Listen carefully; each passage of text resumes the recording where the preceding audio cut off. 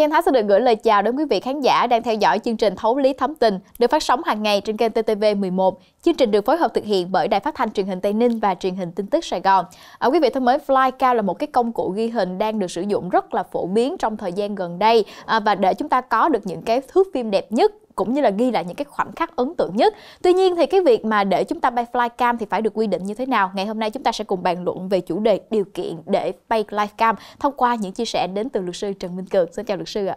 À, xin chào à, Giang Thái cũng như là quý vị khán giả đang xem chương trình. Dạ, Giang Thái xin được phép và đọc một cái lá thư của một vị khán giả gửi về cho chương trình như sau. Xin chào luật sư, tôi đang theo đuổi nghề nghiệp nhiếp ảnh và muốn sử dụng flycam để quay video, tạo ra những shot ảnh đẹp cho khách hàng. Tôi đang có ý định là mua flycam nhưng đang không biết điều kiện để bay flycam là gì, thủ tục xin phép bay flycam như thế nào, tôi cần chuẩn bị giấy tờ gì và nợ ở đâu, mong sớm nhận được thư phản hồi đến từ luật sư. À, không biết là luật sư có thể uh, chia sẻ là điều kiện để có thể bay flycam là gì được không ạ? Đầu tiên chúng ta phải quan tâm flycam là gì? Flycam hiện nay nó là một cái loại thiết bị bay mà không có người lái. Ta có gắn cái cái camera và cho phép quay phim, chụp ảnh từ trên cao. Và cái việc này là cái flycam này kết nối trực tiếp thông qua sóng wifi bluetooth với cái điện thoại hoặc là các cái máy tính bảng.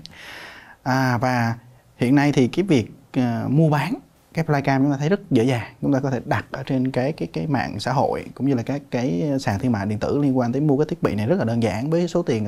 tôi nói là có thể là từ 10 đến 20 hoặc là tùy cái độ công nhiều công năng chúng ta có thể lên tới vài chục triệu đồng đối với một thiết bị thì cái việc mua này chúng ta rất là đơn giản. Tuy nhiên chúng ta phải hình dung được rằng là do cái flycam là một thiết bị bay do đó mọi trường hợp bay flycam hiện nay là phải được xin phép các cơ quan chức năng và phải được cấp giấy phép bay theo quy định như vậy thì rõ ràng chúng ta thấy được rằng là chúng ta thấy rằng là hiện nay có rất nhiều các cái nhiếp ảnh gia hoặc là các cái tổ chức sự kiện chúng ta có sử dụng flycam thì về mặt nguyên tắc tất cả các cái người sử dụng các thiết bị đó phải xin phép theo quy định và phải được các cơ quan nhà nước cấp phép thì mới được phép bay cái cái cái cái, cái flycam này trong cái cái phạm vi quy mô uh, mà đã đăng ký và xin phép. Dạ, một cái vấn đề mà Giang Thái cũng rất là thắc mắc là liệu rằng khi mà chúng ta mua flycam á thì chúng ta có phải đăng ký quản lý hay như thế nào hay không thưa luật sư? Hiện nay thì ờ, pháp luật của chúng ta không có quy định về cái câu chuyện là chúng ta các cái điều kiện để mua. Tuy nhiên chúng ta chỉ có quy định về trong cái việc chúng ta sử dụng thì chúng ta phải được xem xét cụ thể là cấp cái giấy phép bay theo đúng cái quy định của pháp luật mà không có quy định về cái điều kiện mà cái người người có có nhu cầu chúng ta mua thì chúng ta không có áp dụng các quy định có liên quan. Dạ. Vậy thì điều kiện để có thể bay flycam thì chúng ta cần phải đáp ứng những điều kiện gì ạ? À, hiện nay thì để bay flycam thì các cái tổ chức hoặc là các cái cá nhân chúng ta có nhu cầu thì chúng ta cần tuân thủ theo các cái quy định bay tại cái điều 13 của cái nghị định số 79 năm 2011 của chính phủ bao gồm là chúng ta phải đăng ký cái xin phép bay flycam trước khi bay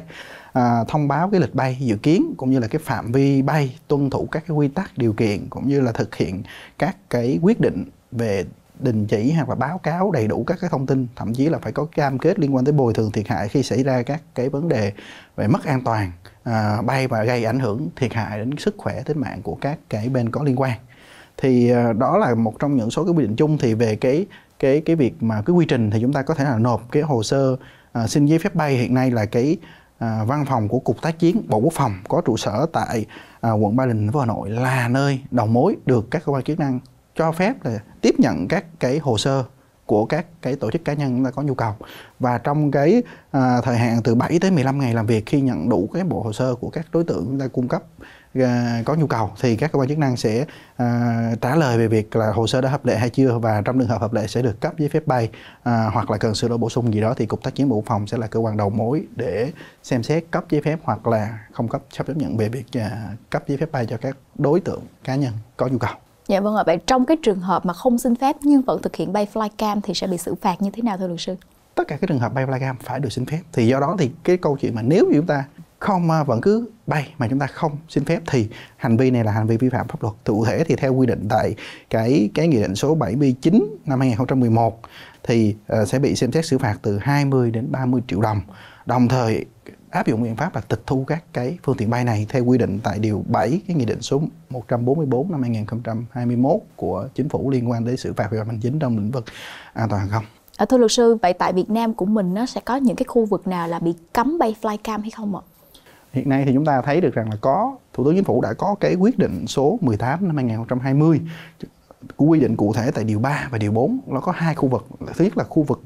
tại quy định tại điều 4 là chúng ta có quy định về khu vực hạn chế bay thì nó sẽ nằm ở một trong những số các khu vực chẳng hạn như là à, khu vực tập trung đông người, khu vực biên giới, khu vực tiếp giáp với các khu vực cấm bay ở các cảng hàng không, các cái sân bay hoặc là các khu vực mà an ninh quốc phòng. Và cái khu vực à, chúng ta cấm bay thì được quy định cụ thể tại cái điều 3 của quyết định số 18 này. Thì đó là những cái khu vực như sau. Thứ nhất là cái khu vực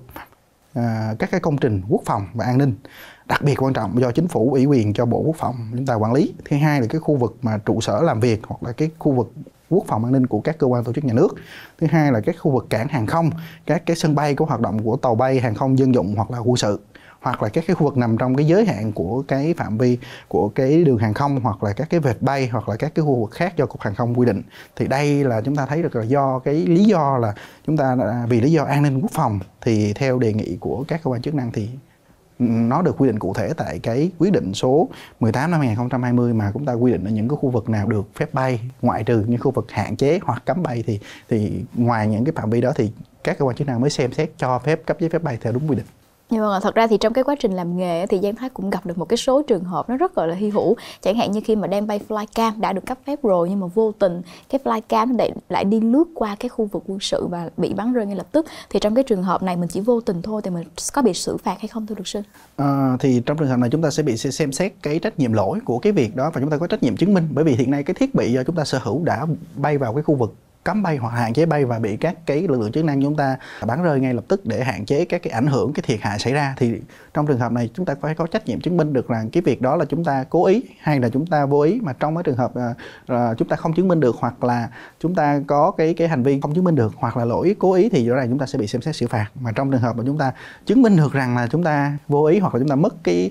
mất cái kiểm soát của cái thiết bị bay này thì thì các cơ quan chức năng cũng sẽ xem xét trong câu chuyện là có xử phạt hay không bởi vì đây là một hành vi vô ý và chúng ta chứng minh được cái việc này Dạ vâng, xin được cảm ơn những chia sẻ của luật sư rất là nhiều ạ. À. thưa quý vị, thông qua những chia sẻ của luật sư thì chúng ta cũng có thể thấy rõ rằng mặc dù flycam là một cái thiết bị bay, một cái thiết bị ghi hình rất là phổ biến, nhưng để có được những thước phim đẹp thì chúng ta cũng cần phải đảm bảo đúng quy định. Và đến đây thì thời lượng dành cho chương trình thấu lý thấm tình cũng xin được phép khép lại. Nếu quý vị có bất kỳ thắc mắc nào thì quý vị có thể gọi về số hotline là 0934 36 7565. Còn bây giờ Giang Thái và luật sư Trần Minh Cường xin chào và hẹn gặp lại.